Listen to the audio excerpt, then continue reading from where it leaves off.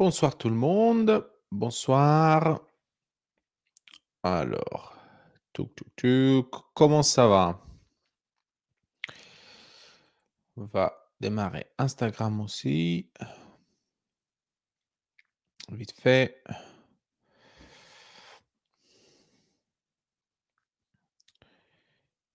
Et en direct. Salut Amélie. Alors.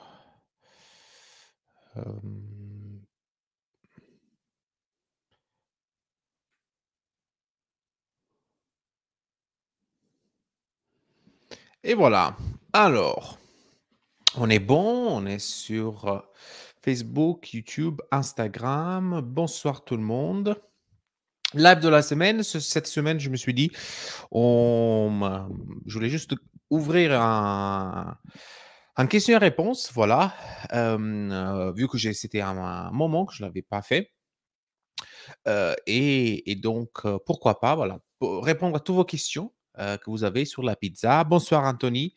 Donc là, Instagram, est bon et aussi sur sur les autres. Donc je suis là, je suis là pour vous. C'est tous les questions, que ce soit, biga, pizza napolitaine, cuisson, peu importe, on va parler ensemble pour cette, heu, live. Alors bonsoir, là je vois pas, heu, sur le groupe heu, alors c'est qui? Rappelez-vous que sur le groupe bonsoir Pascal, pour le groupe sur le, groupe Facebook, vous pouvez cliquer sur le lien que vous voyez, pour pouvoir, montrer votre nom. Donc là, les semaines, hem, les semaines passées, on a parlé beaucoup de sujets, donc cuisson, heu, biga, heu, on a parlé de quoi d'autre? Je me rappelle plus. Digestibilité, oui, cuisson, digestibilité, pizza intega, mais ça, c'est un peu hors sujet, mais oui, donc posez vos questions sur la napolitaine.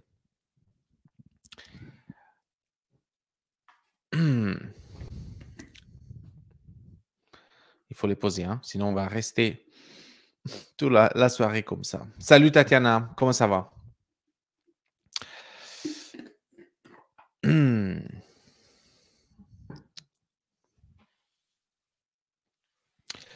Donc hem, si vous avez vous êtes passionné, vous êtes, heu, professionnel, vous avez des questions, on est là. Hem c'est calme ce soir. Bon.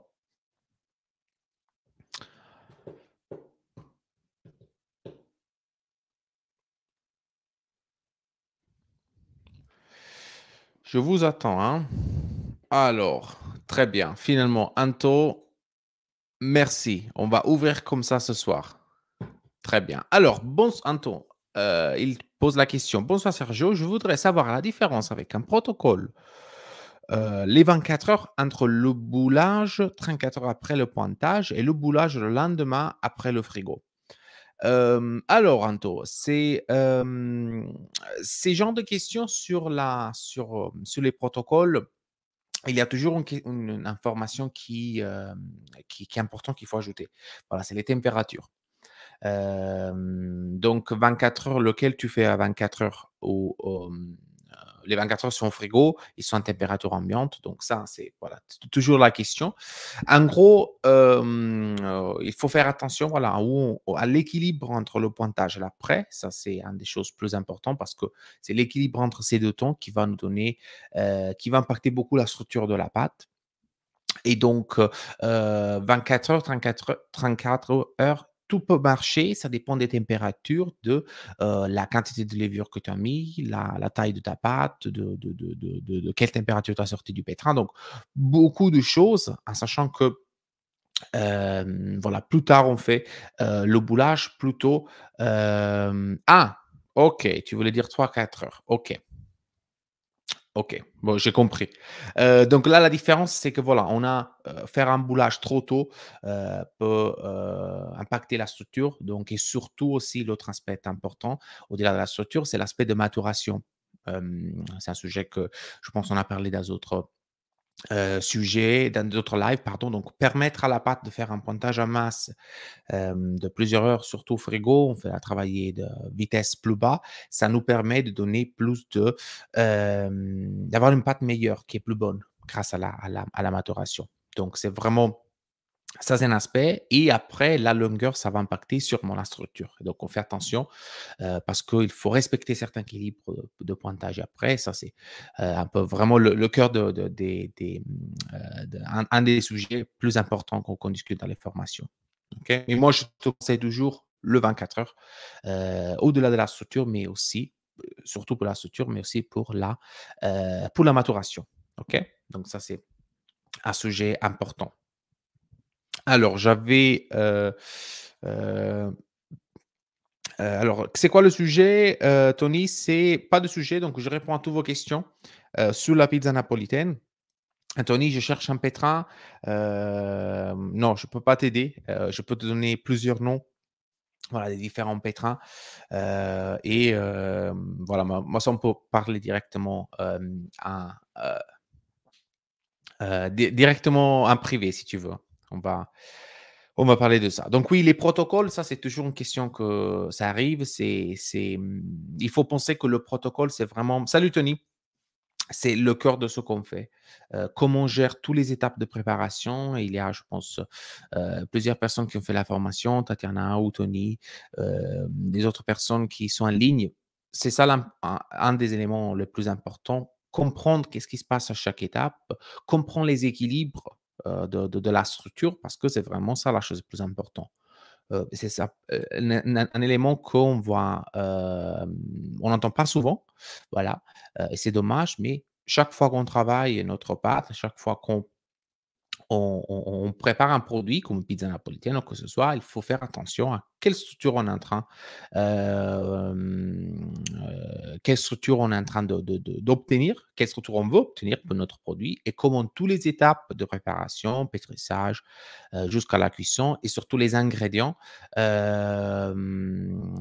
ingrédients vont impacter notre structure. Donc ça, c'est vraiment le, toujours une bonne question et il faut voilà, des heures pour, pour discuter ça bien dans le détail. Alors, Tatiana, pas de demande. Quelle, quelle hydratation constitue pour un protocole à 48 heures? Ben, En général, c'est. Ben, nous, on a parlé beaucoup de ça. C'est, moi, je n'ai pas d'hydratation conseillée. Ça veut dire que c'est plutôt le, le, produit qu'on est en train de réaliser on réalise une, pizza napolitaine, donc on joue sur 60, 70. Pour moi, c'est ça. Quand on travaille sur des protocoles longs aujourd'hui avec des farines qui sont performantes, euh, avec une force moyenne, moi je dis souvent aussi si on cherche un certain euh, développement et une certaine structure, bah, on, on, essaie d'être au minimum 65. Euh, moi, vous le savez, ce que j'utilise moi pour, mes protocoles, voilà, on est autour de, je suis autour de 67, 68. OK? Donc ça, ça marche bien pour les types de farine que j'utilise, pour la structure que je vais vous donner et pour, pour vraiment les équilibres. Alors, DVDV, salut Sergio, peux-tu nous conseiller une ou des marques de mozzarella et où les trouver? Merci. Alors, je n'ai pas vraiment de marque euh, en particulier parce que je, c'est plutôt vraiment, il y a beaucoup, beaucoup, beaucoup d'options. je le fior dilaté, la bouffala, moi, je, trouve toujours, j'habitais en Angleterre avant de venir ici en France et j'ai trouvé qu'on a vraiment de la chance ici en France parce que euh, vraiment, on peut trouver des bons fior dilaté, des bonnes bouffala, même dans les grandes surfaces. OK? Euh, ça dépend des périodes maintenant. Personnellement, dans, ma région, j'arrive pas à, à, la trouver, mais en général, si on trouve la, la, la bouffala, je trouve peut-être c'est plus simple vérifiez bien quand vous prenez des fromages comme la bouffala qu'il y a bien le, tampon AOP, euh, je ne sais pas en français exactement comment, donc le tampon AOP qui vraiment nous indique que c'est la véritable mozzarella di bufala. C'est vraiment, euh, je pense, un respect pour le produit, un peu comme pour les, pour les pour chaque produit, comme pour tous les autres produits français. Donc, c'est intéressant de chercher cela à mon avis. Euh, pour le fior dilaté, ça dépend. Et, c'est plus difficile de trouver le bon fior dilaté. Moi, je pense, si vous trouvez le, fromage, le premier que vous trouvez, essayez, goûtez. Si ça vous plaît, bah, restez sur celui-là. Euh, moi, j'ai goûté beaucoup, beaucoup de fior di latte avant de trouver celle qui euh, j'aimais le plus voilà, pour, pour, pour mes formations et aussi pour la maison. Voilà. Je fais, mais- même moi, je fais des pizzas pour mon, mon plaisir. Donc oui, malheureusement, pas, pas, de, pas de marque en particulier parce que c'est euh, c'est difficile. Je te donne une marque, c'est impossible de trouver. Alors, euh, Tatiana, euh, ok. Autre question. Quelle est vraiment la différence entre la napolitaine et la napolitaine contemporaine? Eh ben, ça, c'est une super question. C'est vraiment une question intéressante. Alors,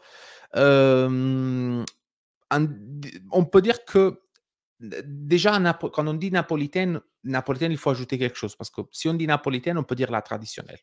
Ok, La pizza traditionnelle napolitaine, c'est celle qui est reconnue par le, euh, qui, est, qui est dés- décrit par le, le APVN, donc l'association de la euh, pizza verace napoletana. Donc, c'est une pizza vraiment pas celle qu'on voit aujourd'hui sur les réseaux sociaux, pas celle que moi je fais.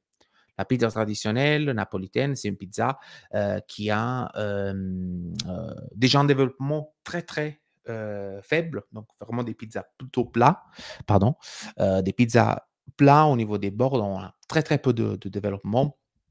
Euh, et sont la traditionnelle, on est vraiment surtout sur des hydratations plutôt basses. ok? On joue sur un, type de pâte qui a beaucoup de euh, extensibilité. On, a le type de pizza qui s'appelle la, la rue de Charrette, la ruota di carro. Donc, c'est un type de napolitaine qui arrive à déborder l'assiette, typique de, de- de la région, euh, typique à Naples.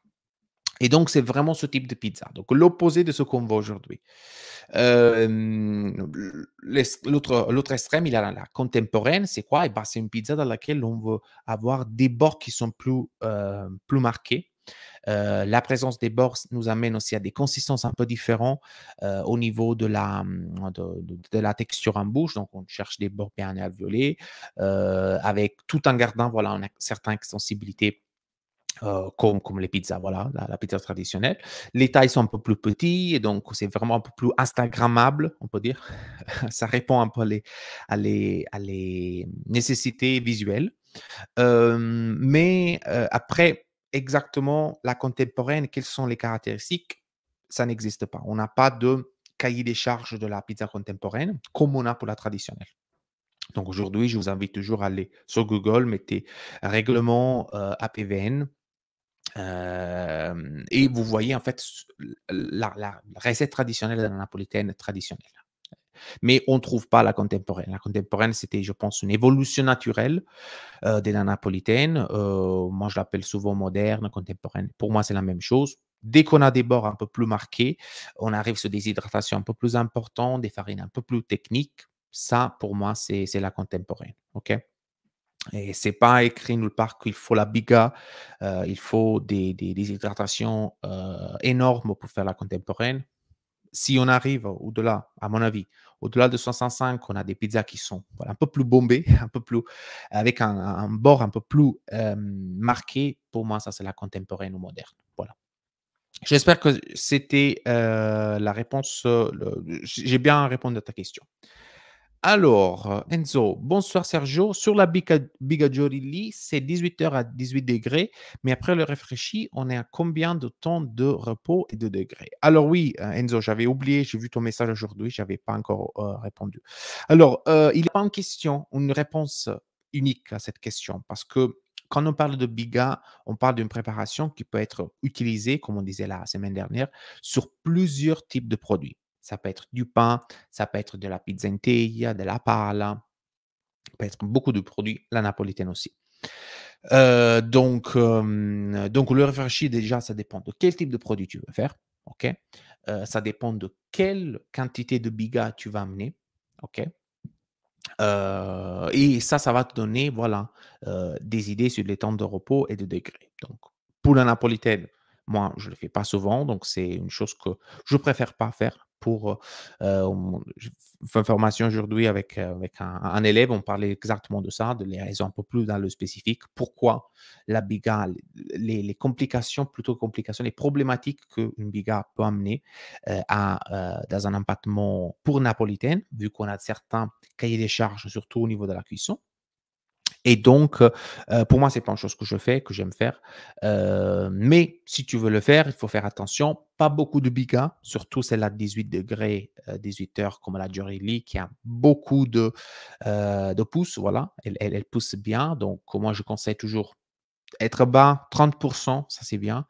ça veut dire que sur ta quantité, pardon, sur ta euh, euh, sur les quantités totales, voilà, il faut que la biga, le poids de la farine que tu as utilisé pour la biga soit 30% sur la, euh, sur la farine totale. Qu'est-ce que je veux dire? C'est que si tu fais un kilo de farine, tu vas mettre 300 grammes de la, pour la biga et 700 grammes, tu vas les ajouter dans le.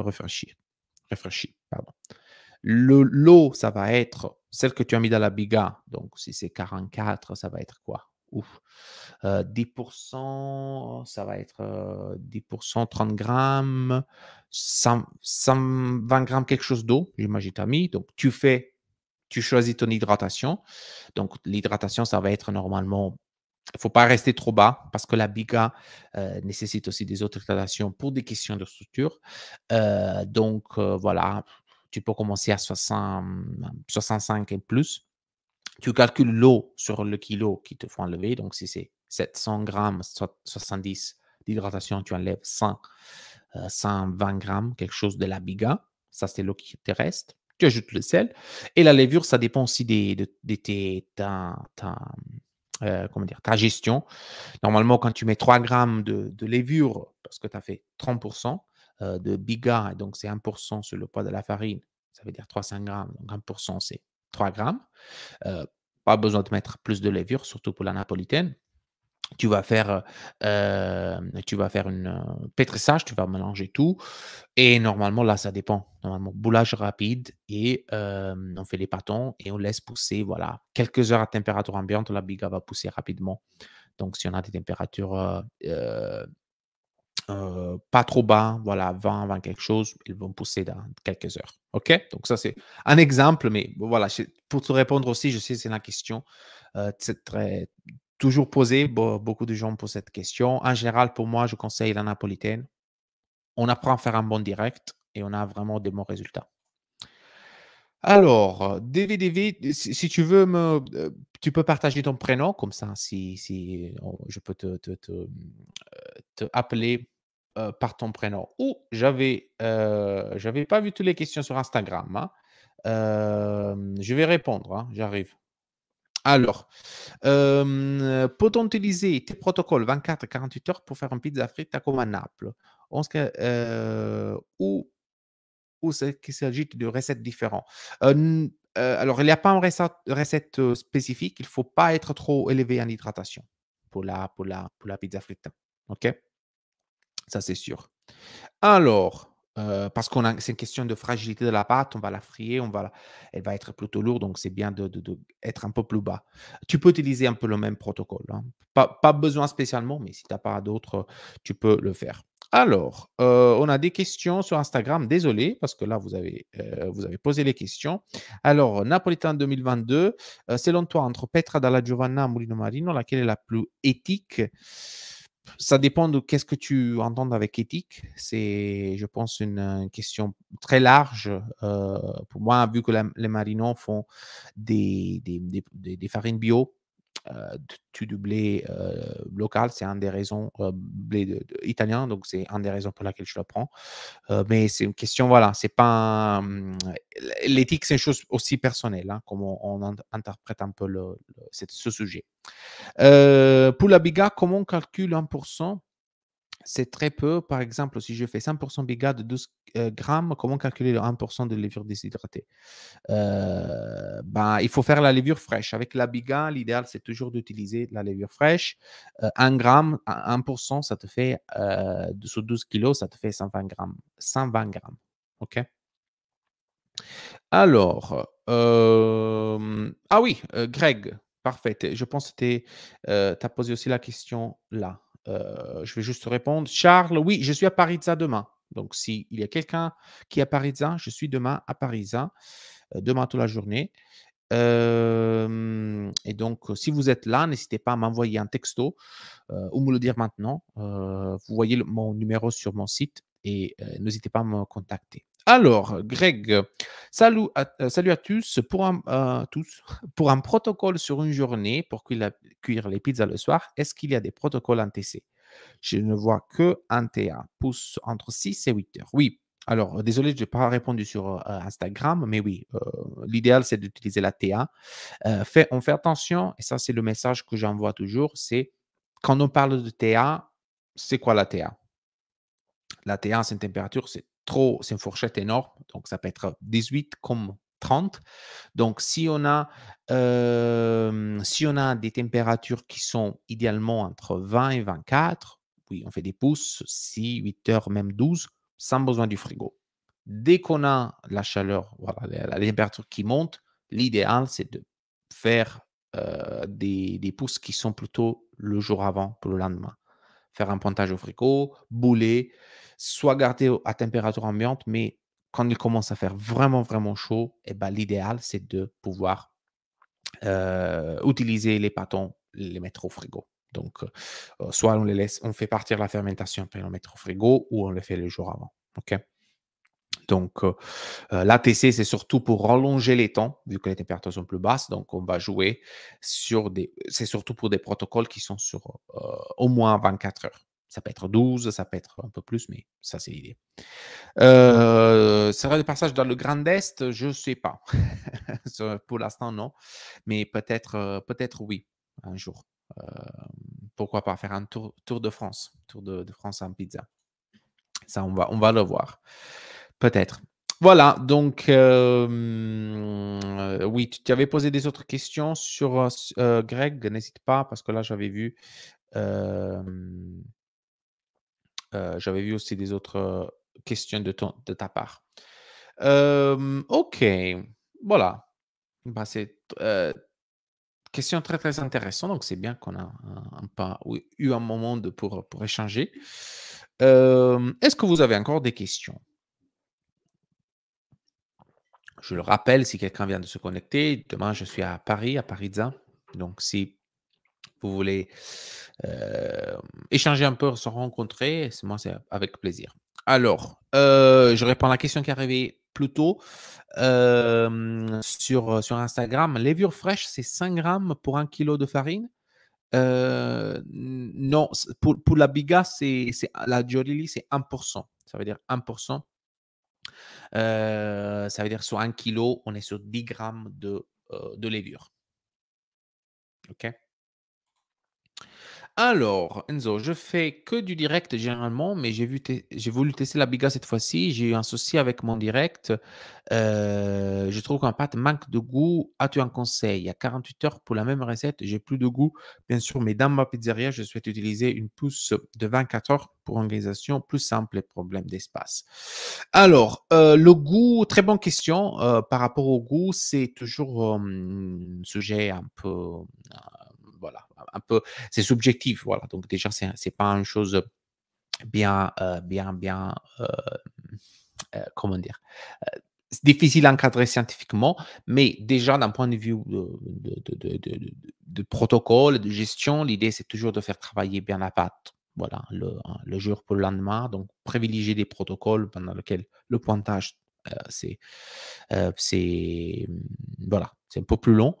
le goût après, ça dépend aussi de la farine et du reste du protocole, de la cuisson. Donc, pour moi, c'est sur plusieurs niveaux le goût. C'est bah, beaucoup de complexité. La première, c'est quelle farine on utilise. Parce que voilà, c'est ça joue quand même au niveau de la, euh, de la texture aussi de la pâte. Mais là, on arrive après sur le protocole. Est-ce qu'on a bien travaillé les différentes phases? Est-ce qu'on a compris les équilibres à respecter? D'abord, si, tu es en activité, voilà, ça, peut être intéressant voilà, de, de, de, discuter, pouvoir discuter ça dans le détail, dans, mes formations, si jamais tu as envie. Euh, et de comprendre, voilà, chaque étape, comment on peut jouer vraiment bien sur l'équilibre, permettre d'arriver avec la meilleure pâte au niveau de la texture, choisir la bonne, la bonne farine après, la bonne cuisson. Ça, ça reste aussi un, un, élément très très important. Si on ne fait pas une bonne cuisson, c'est la cuisson, elle n'est pas comment dire, on n'a pas la bonne pâte qui arrive en cuisson au niveau de la concentration du sucre. On n'a pas toutes les réactions, on n'a pas la coloration qu'on cherche qui donne aussi l'aspect du goût de, notre pâte. OK? Donc, donc le, goût, voilà, c'est plusieurs choses ensemble, la farine, le protocole, la, gestion et après la cuisson, tous ensemble, on peut arriver, si on comprend tout bien dans le détail, on peut arriver à quelque chose de, correct. Quelle farine tu utilises? Je voulais te poser la question. la biga, souvent, c'est au niveau du goût, c'est toujours difficile pour la napolitaine. Je ne sais pas si tu fais des pizzas en particulier autres que la napolitaine, mais la napolitaine, c'est une pizza qui est très fine. OK? Donc, on a déjà un, défi de identifier le goût vraiment de la pâte. c'est toujours la garniture dessous qui a bien plus un impact sur le goût. donc, donc voilà, c'est c'est exactement ça l'autre chose à, penser. Voilà. Qu'est-ce que, qu'est-ce que je veux au niveau du, du, produit, la garniture que je mets dessus. Mais en général, la biga, ce n'est pas la solution pour ajouter du goût parce que la pizza reste très fine et donc on ne voit pas vraiment l'impact. La biga, c'est vraiment le gros impact, c'est au niveau du développement, de la structure de l'alvéolage.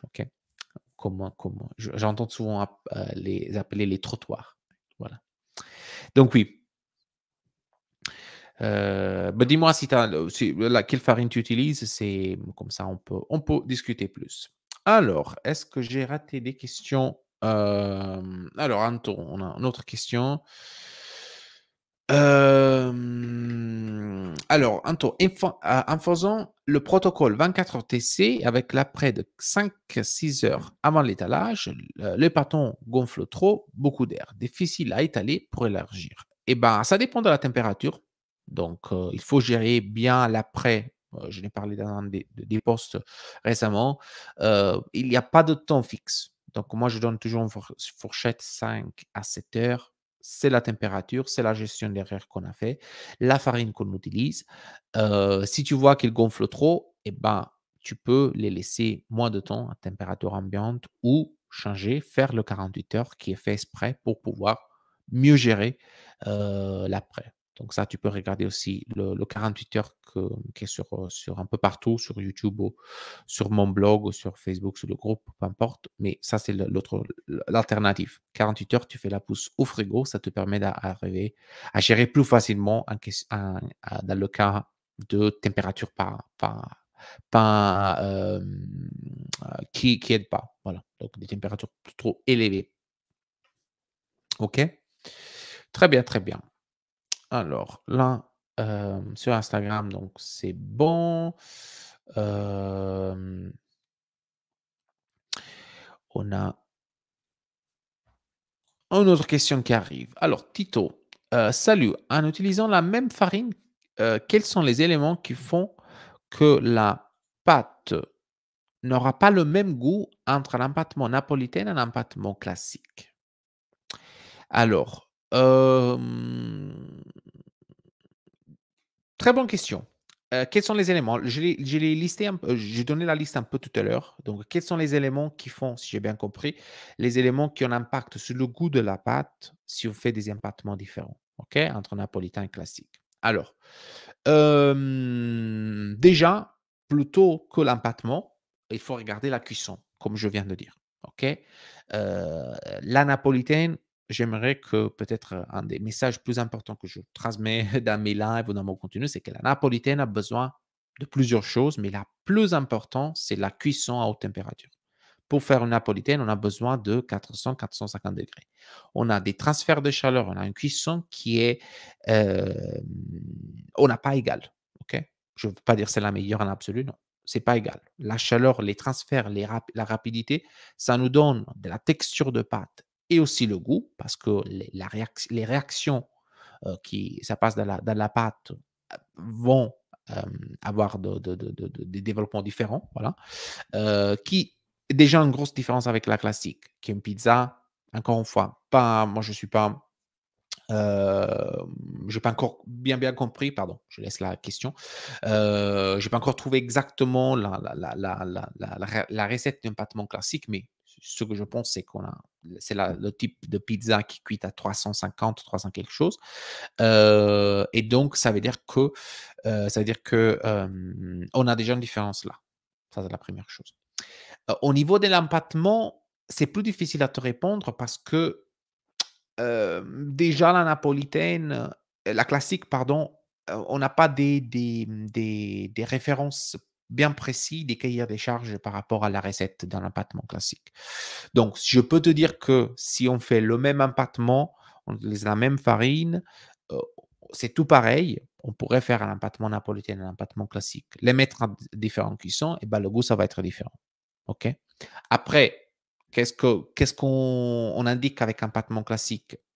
Je ne sais pas parce qu'en réalité, de ce que je, travaille avec beaucoup de professionnels aussi, on arrive à avoir des empattements qui sont très similaires.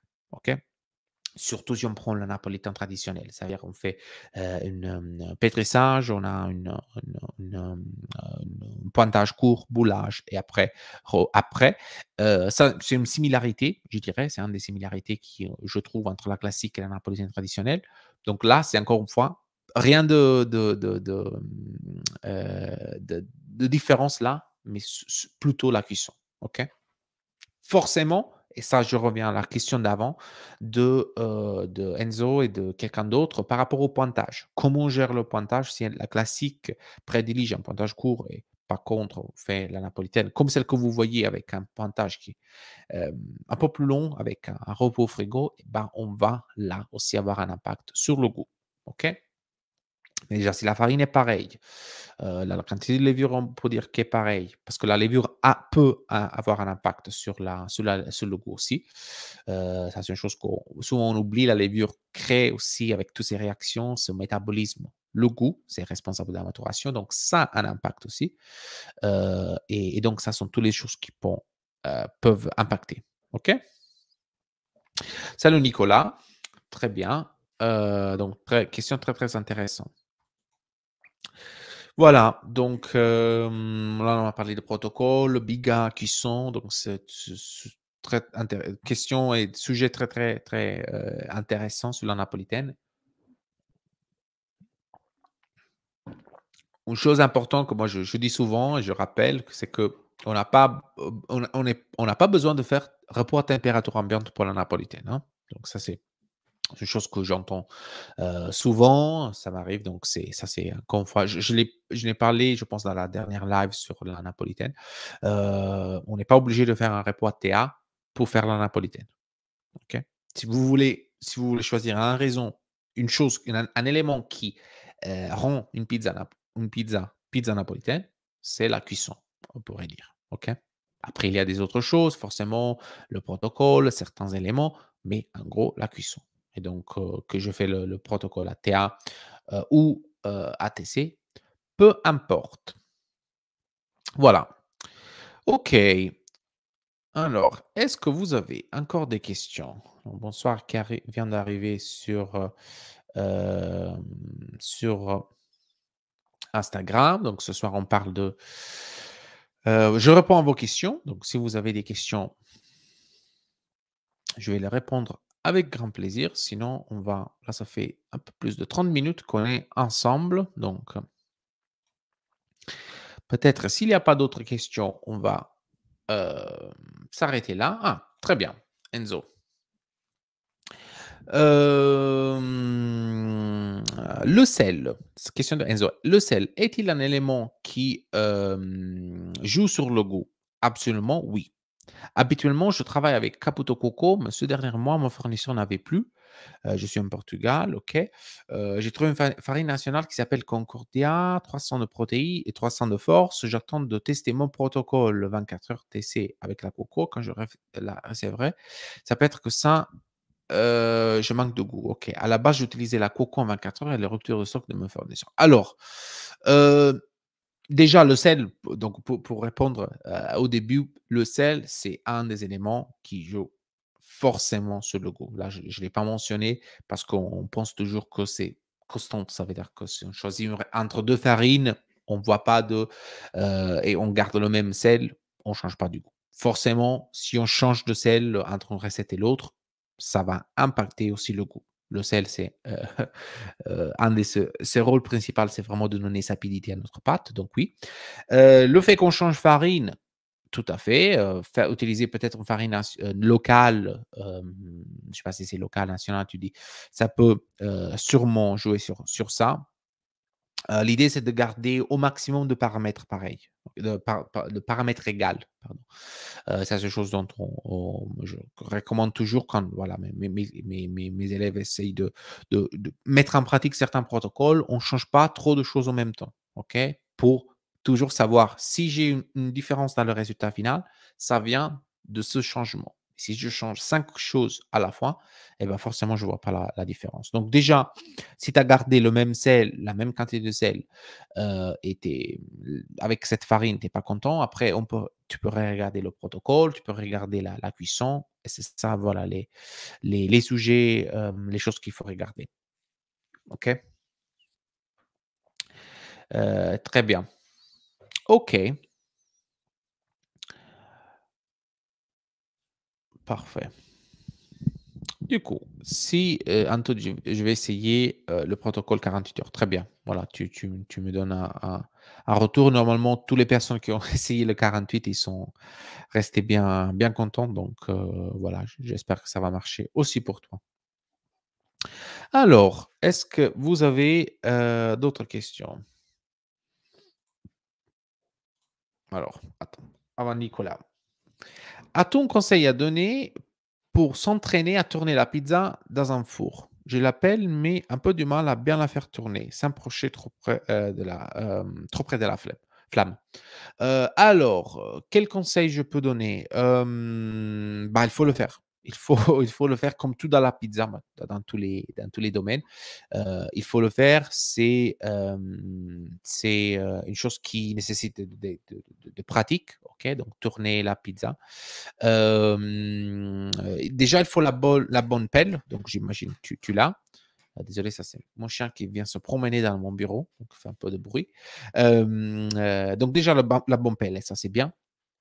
Euh, je peux te dire la, technique à, utiliser, mais sans, la voir, c'est toujours difficile. Donc voilà, tu, tu la pizza. L'idée, c'est qu'on incline la, pelle et en fait, on fait, on fait tourner la. Euh, on amène la pelle vers nous et donc ça, ce mouvement de, euh, tirer la pâte euh, vers nous, il fait, fait tourner la, pizza. Donc c'est vraiment incliner la pelle, la tirer. C'est e, extrêmement difficile à expliquer. J'ai du mal. mais c'est ça. Donc voilà. En gros, c'est vraiment tirer la, pelle vers toi euh, tout en faisant basculer la pizza comme ça.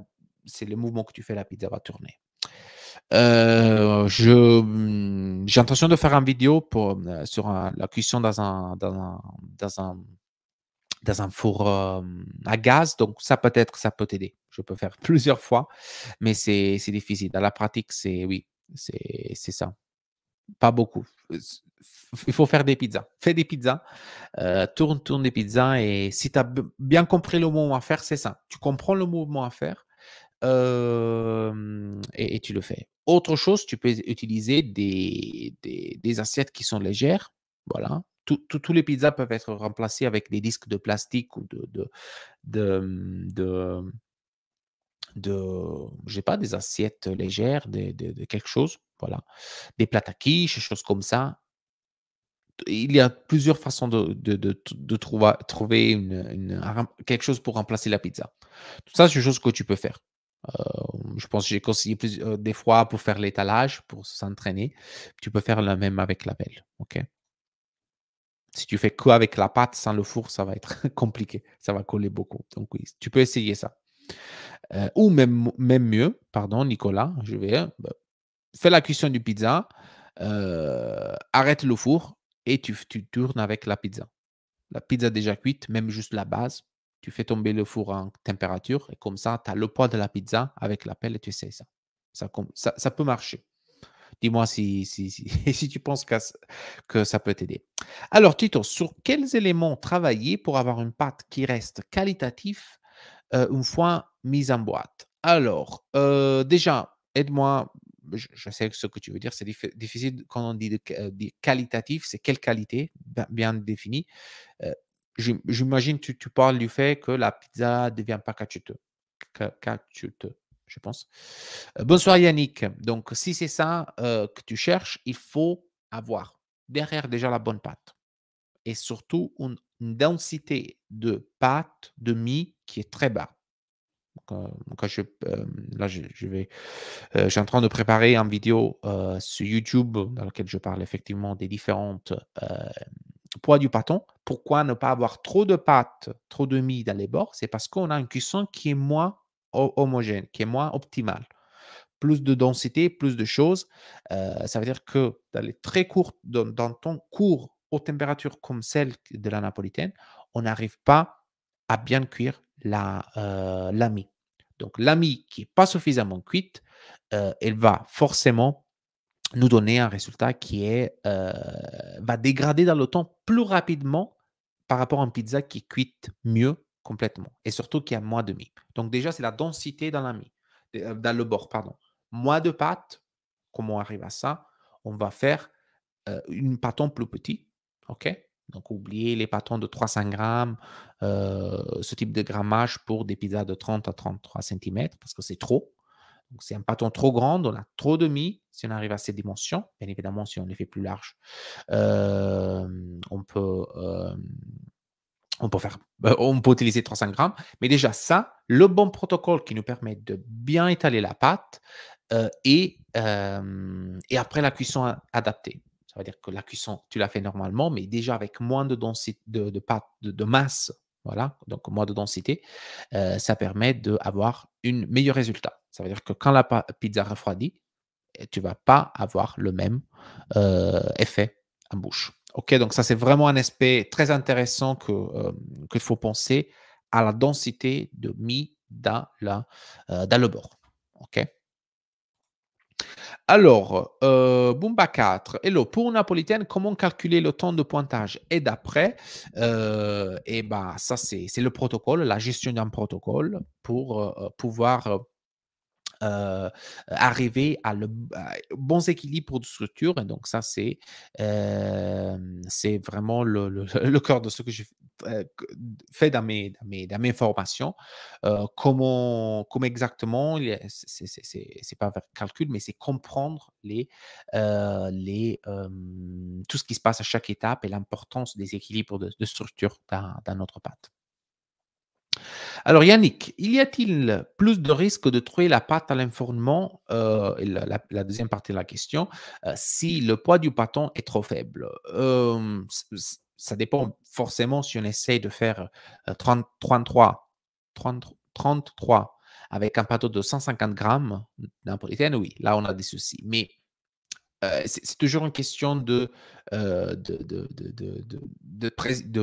dire, d'équilibre. Donc, si moi je veux faire un pâton de une, pizza de 30 cm et j'ai un pâton de 240, 250, c'est ça que moi je fais, et eh ben aucun aucun souci. Donc, si on travaille bien, on a la bonne pâte avec la bonne force, la bonne élasticité, tout marche bien euh, si on travaille bien aussi sur le plan de travail, si on étale bien, aucun souci de trouver, trouver la, pâte. Donc, euh, s'il y a quelqu'un encore qui reste sur la live, qui a fait une formation avec moi, euh, moi je fais, voilà, aujourd'hui je suis à 240, normalement j'étais, je suis entre 240 et 250, jamais des trous.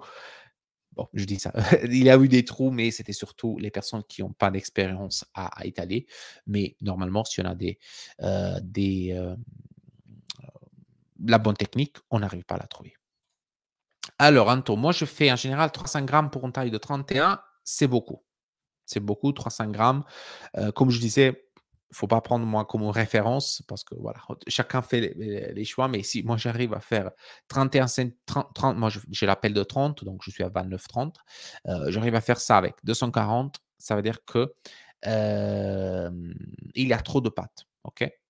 Dans, ton, dans ton pâton. Ton protocole, ça ne te permet pas d'arriver à, étaler bien la pâte avec ce, ce, grammage inférieur. Et donc, tu peux avoir, comme la question de Tito, des soucis au niveau de la cuisson qui peuvent impacter la mâche, qui peuvent impacter la, vraiment la texture de la pâte en bouche et donc impacter le rendu de la pizza. Alors, Tito, il y a-t-il des avantages à faire une maturation en vrac? Euh, Absolument oui. Euh, tu parles en vrac, c'est, je pense en masse, c'est ça que tu veux dire, j'imagine. Euh, oui, c'est ça, en vrac. tout à fait. il y a absolument un avantage, c'est, c'est, c'est, vraiment le, où on a plus de résultats, meilleurs résultats pour la maturation. On a plus de pâtes, on a plus de les réactions, voilà, il se passe sur une pâte qui est, qui est plus, plus, plus important. Et donc, comme ça, on a un résultat qui est meilleur. Attendez juste. Ah, je vais juste bouger ça. Tac. William Mass, voilà, exactement. Tout à fait. Tout à fait. OK. Alors, donc oui, moi je fais toujours la maturation. C'est vrai que la maturation, on parle de tout, euh, de tout le protocole, même pendant l'après, en cuisson, ça continue. Mais, euh, mais c'est très important de la faire en vrac. Donc, pas faire le, pointage trop court pour, la maturation parce qu'on n'a pas le bon résultat. Alors, je suis à 275, j'essaie de baisser à chaque empattement. Voilà. Très bien, très bien. Si tu vas faire la formation avec moi, tu vas comprendre comment faire 250 grammes, 200, 240 50 grammes pour 30 cm. Alors Enzo, moi j'ai un souci, il m'arrive de trouver la pâte à mi-cuisson dans F1 P134H quand je veux la tourner au moment de mettre ma pelle. Tu as des conseils? Euh, Oui, alors il faut faire attention à ton, à ton euh, euh, la pâte, ce que tu fais au niveau du protocole. une pâte qui est peu balancé, peu équilibré au niveau de, chaque, étape. peut donner une pâte qui est voilà, un peu trop faible. Normalement, c'est la faiblesse de la, pâte qui euh, amène à, euh, la pâte à, se trouver. Euh, quantité de garniture, c'est relatif, sauf si on met voilà, des centaines de, kilos de, choses, mais sinon, sinon c'est voilà, des garnitures correctes. C'est c'est pas la raison, mais en général, si la pâte est faible, on met beaucoup de garniture on touche la pâte, quand le, dessous, le fond de la pizza n'est pas cuite, là, ça arrive euh, qu'on va trouver, euh, laisser des trous. la, seule chose que je pense de la garniture, c'est des ingrédients qui sont beaucoup humides, qu'on a beaucoup de d'eau. OK? Donc ça, ça peut aussi causer ça. Euh, alors, Bomba, napolitaine, est-ce que c'est trop Est-ce que c'est trop si la pâte double de volume pendant le pointage en masse? Oui, ça c'est euh, trop.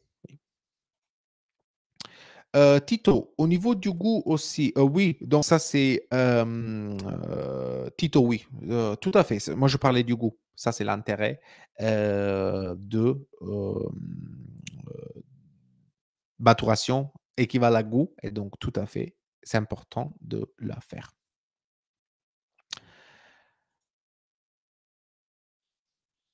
Tu n'as pas d'autre avantage voilà, pour la maturation. Hein. D'un point de vue de maturation et goût, de, maturation, pardon, c'est ça le seul avantage. Euh, le goût, c'est aussi après, la coloration parce que la, réaction de, dont je parlais tout à l'heure. OK? Euh, Très bien, très bien.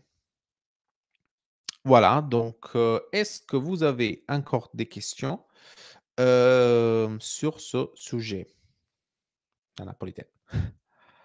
Très bien, donc là, on a un peu plus de presque 50 minutes. Il y a des moments où j'ai du mal à étirer, même avec un plateau de 300 grammes. C'est le protocole. C'est n'est pas ta technique, c'est le protocole. Euh, donc ça, c'est la, euh, un des soucis qu'on a quand on, euh, a des protocoles qui ne sont pas équilibrés on a un, déséquilibre voilà, dans, la, structure et à 300 grammes, si tu n'arrives pas à étirer, ça veut dire que ton protocole, il faut le revoir. OK? Alors, Bumba, est-ce que c'est utile de faire deux fermentations quand on a, fait la pâte pour une seule pizza? Euh, On fait toujours deux fermentations. Donc c'est euh, c'est toujours euh, c'est toujours de fermentation, pointage après. Donc c'est tout à fait. Il faut le faire toujours. Faites un reboule tout simplement. OK? Alors Yannick, pour la biga, on peut, hem, alors pour la biga, on peut bien sûr l'effectuer aussi bien à température ambiante que contrôlée. Est-ce que le poids de la levure change entre les 2 protocoles? Alors la biga, hem, aussi bien là, c'est une question, c'est vraiment générique. Alors, qu'est-ce qu'il faut savoir sur la biga? On avait parlé sur notre dernier live, c'est que, heu, le point de fermentation et maturation change en fonction de tous les ingrédients, de la quantité d'ingrédients qu'on met dans la biga, quantité d'eau, quantité de levure et forcément du paramètre qui règle tout dans la panification, ça veut dire la température. Si, comme on avait dit l'autre fois, si on garde tout pareil au niveau des ingrédients, on fait une pousse au frigo et une autre pousse à température ambiante, forcément, on a des différences. Où sont les différences? Au niveau de la fermentation et maturation et la fermentation et maturation de la biga vont impacter le résultat final. Comment et pourquoi? Quel est meilleur? Impossible à dire sans avoir une comparaison précise, sans avoir vraiment une, une, heu, des résultats de la pizza et surtout en fonction de quel produit. Heu, est-ce que le poids de la pour répondre à ta question, est-ce que le poids de la levure, change entre les 2 protocoles? Ça dépend, ça peut, moi je travaille avec de la biga, hem, au frigo, au frais, hem, qui, hem, garde la même quantité de levure? Donc il y a on travaille sur d'autres choses? Donc la levure change pas, et donc c'est forcément le résultat, ça va pas être pareil parce que, comme je te disais, on va travailler sur des repos qui sont à température plus basse, donc on pousse moins, on peut dire, la biga, mais la levure peut changer, OK? Dans mon cas, ça change pas, mais tu peux voilà, il y a des applis, je pense. Après, c'est vraiment, comme on disait l'autre fois, la biga, c'est une chose qu'il faut bien la comprendre, il faut bien avancer dans la compréhension de la biga classique pour pouvoir après changer, heu, selon ce qu'on veut, OK? Tito, combien de temps sortir du frigo son empattement en masse avant de passer au boulage? 0. Tu peux faire le boulage tout de suite en sortant du frigo. Ça, c'est un mythe qui, hem, bah, plus qu'un mythe, c'est une, c'est quoi le mot le mot correct? C'est une, je trouve pas le mot? Heu, c'est une façon de faire qui tr trouve pas a pas a elle a pas raison d'existre d'e d'existe de de de de a pas raison de, d'être faite. Parce qu'il y a aucun intérêt à attendre que la pâte monte en température. La raison plus simple, c'est une pâte qui est froide, est plus facile à travailler. Donc tu as beaucoup plus de facilité, surtout si on monte avec l'hydratation, à travailler une pâte qui est, froide. Parce que le gluten est plus rigide, tu peux la travailler plus facilement. Donc moi, je sais pas si tu as vu mes vidéos, mon protocole, j'attends 0, je la sors et boulage. Est-ce que c'est mieux de faire 24 heures ATA ou TC? Alors mmh, c'est mieux pourquoi? Ça veut dire pour pour faire quoi? Heu, en général, pour la gestion, heu et heu, pour la variabilité, c'est toujours mieux la TC. Parce que TA aujourd'hui, au un peu partout, on peut être à 20-21-22, heu, aujourd'hui, il faut le dire 29 mars, même si c'était bien chaud. Mais bon, en gros, peu importe quelle période donnée de l'année, la température ambiante change. Et la température ambiante, on la contrôle pas et donc on n'a pas de, façon d'avoir la, contrôle sur cet élément. OK? Vu que la température va impacter notre pâte, plutôt on utilise la TC parce que la TC est toujours, selon nos besoins, à 4-5-6-7 eaux que ce soit. OK? Donc ça, c'est l'avantage. Un des avantages. La plusieurs donc toujours moi, je conseille toujours TC. Patrick, as-tu déjà travaillé avec de la farine T80? Heu, je l'ai, pas, hem, à comment dire en français? Pas à 100 heu, c'est une farine un peu trop avec un taux de sonde trop élevé pour la napolitaine. Heu, j'ai utilisé de la Tipo 2 que je pense c'est équivalente à la T80, heu, je pense, si je me trompe pas. Oui, parce que T65, T80, oui, à peu près. Donc, l'idée, c'est d'utiliser ce farine, c'est des farines semi-complètes, donc on va les ajouter en quantité petite quantité dans notre, hem, empattement, surtout la napolitaine. C'est bien de ne pas, surtout pour pas avoir trop de, perdre trop d'extensibilité avec la T80. Donc moi, je conseille voilà, de 10-30% en fonction de la farine. Il faut essayer, mais c'est ça. Donc oui, je l'ai utilisé. C'était dans la live d'abord. Si tu vas sur, sur ma chaîne YouTube, tu vois le 48 heures en live. J'avais fait le protocole 48 heures en live et je pense que j'avais utilisé soit 10 ou 20% de semi-complète. C'était la typo 2 selon la nomenclature italienne. Selon la nomenclature française, c'est à peu près T80. OK? Alors, Anthony, sur Instagram, sur un protocole 48 heures après le boulage, combien de, combien de temps en TA avant de remettre à TC pour 20 heures? Euh, Ça dépend. Euh, ça dépend de plusieurs paramètres. Ça peut être euh, la, ça, dépend de la température ambiante d'abord. ça dépend de quelle température ton, tes pâtons ont. c'est voilà, il faut bien faire démarrer la fermentation. Ok, donc ça c'est ça c'est important. On fait la pause, les pauses ATA font partir la fermentation. Donc, en général, moi, comme je dis dans, le, protocole 48 heures, si on est sur 20, des, températures ambiantes qui ne sont pas trop élevées, vingtaine de degrés, bah, quelques heures, c'est bien. Si on a des frigos traditionnels à 4. OK? Alors, bon, bah, à partir de quand on commence le décompte du temps de maturation? Quand on mélange les ingrédients ou après les rabats? c'est du moment techniquement quand on touche on met ensemble farine et eau.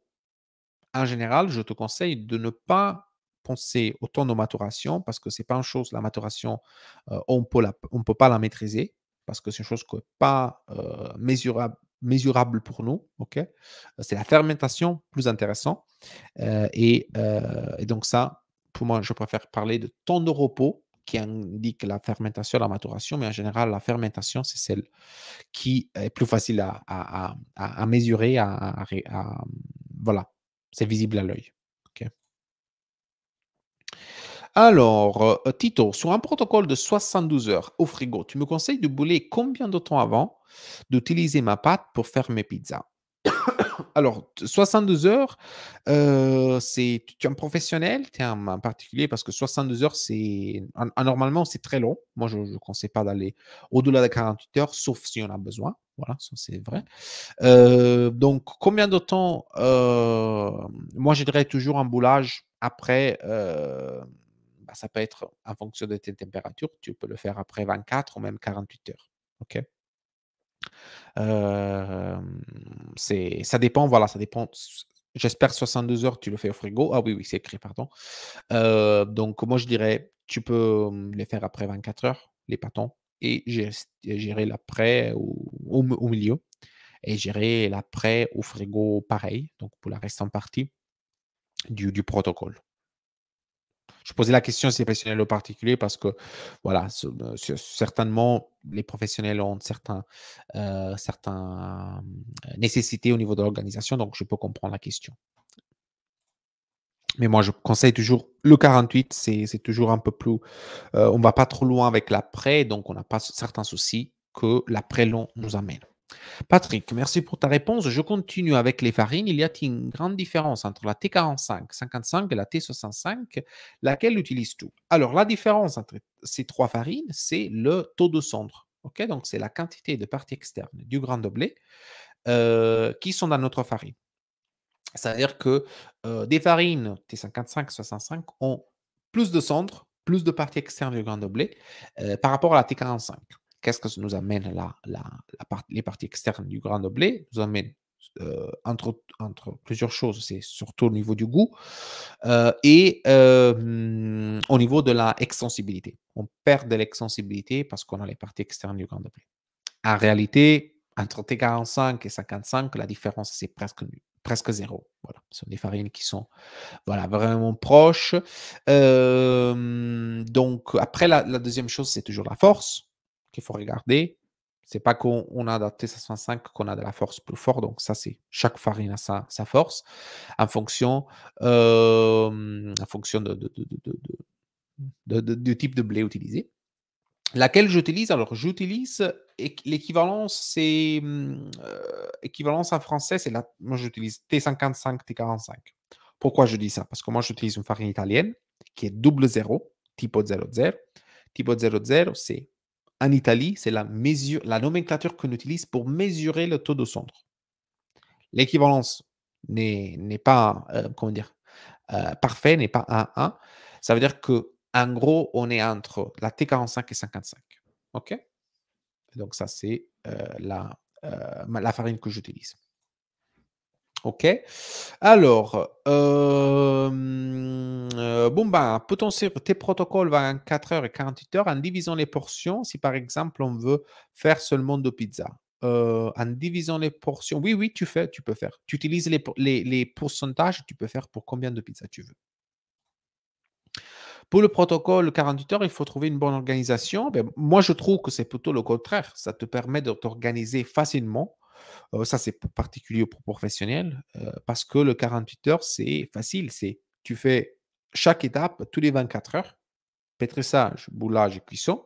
Ça veut dire que pour un professionnel, et ça, on, parle avec toutes les personnes qui ont une activité, c'est bien parce que ça te permet d'optimiser le temps dans lequel tu es, pas, tu es dans, ton activité. Si tu as un camion, si tu as, je sais pas si Tatiana est encore là, si tu as un camion, si tu as une pizzeria. Aujourd'hui, justement, on parlait avec, dans une de mes formations, une personne qui, en pizzeria, utilise, commence à utiliser mon 48 heures, on a affiné, on l'utilise parce que ça lui permet de pouvoir aller à chaque, à chaque étape, pardon, oui, aller à chaque étape toujours en même temps et donc facile à s'organiser. OK? Donc, à la maison, c'est pareil. il faut juste de la place dans le frigo, tout simplement. Vas-y, Patrick, je t'écoute si tu as une autre question. Là, sur Instagram aussi, n'hésitez pas si vous avez des autres questions. Ma voix aujourd'hui commence à avoir un peu du mal.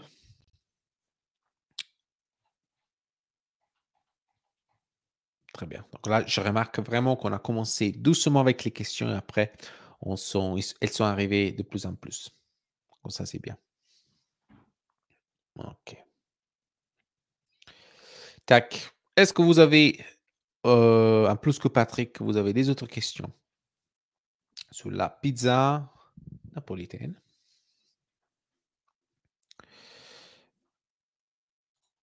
Alors, as-tu déjà utilisé le four Ariete 9, 909 Comment faire en sorte que le dessus euh, dessous ne brûle pas lors de la cuisson?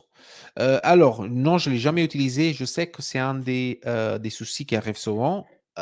regarde la live sur la cuisson je ne sais pas si tu l'as déjà vu, mais en gros, là, c'est un souci d'épaisseur de la pierre. On a une pierre qui est trop chaude et qui donne la chaleur trop rapidement à notre pizza. Parce que je pense. merci, Anthony. donc, oui, c'est ça le souci. Donc, soit, je pense qu'il y a en Italie, après, on, vu que ce sont des fours italiens, on a, on, a, bricolé, on a trouvé des pierres, je pense, si je ne me trompe pas. sinon, il faut bien baisser la température du, du, fond, de, de, la pierre. Donc, donner moins de chaleur à la pierre et comme ça, elle la, donne quand même rapidement la pizza, mais évite de la brûler.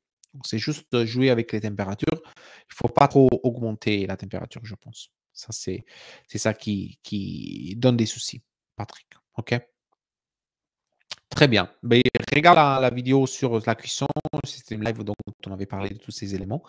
Euh, et là, j'ai une vidéo que vient de sortir sur la différence entre la pierre fine, la pierre réfractaire et un biscotto euh, plus épaisse. Donc, euh, dans quelques semaines, tu peux aussi regarder ce vidéo.